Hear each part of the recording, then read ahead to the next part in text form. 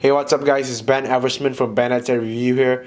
Alright so today I'm going to teach you guys how to sync your media files from your Android devices to your iMac or Apple devices or computers. First thing you'll need is an Android device a USB cable and the Android file transfer system.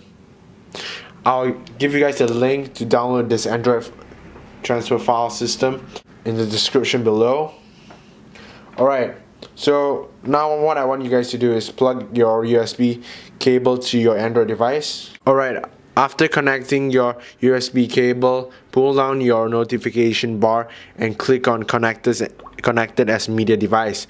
Media device allows you to transfer media files in Windows or using Android file transfer on a Mac. So you can transfer media files from your Mac to your Android device. Camera allows you to transfer photos using camera software from your Android device to your iMac. Right, so if you want to transfer anything from your Mac to your Android device, click on media device. If you want to transfer pictures and stuff, use camera, PTP. Okay guys, so I'm going to demonstrate now. I'll go on to iTunes. Alright, uh, I don't, I think I transferred all these files before, but I'll transfer one.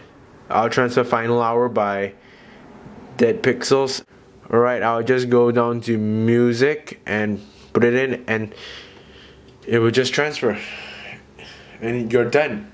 So, give this video a thumbs up if you like this video. Comment down below if you have any opinions on how to transfer media files and stuff. Subscribe to my channel if you already haven't. The subscribe button is down below. So thanks guys for watching. Peace.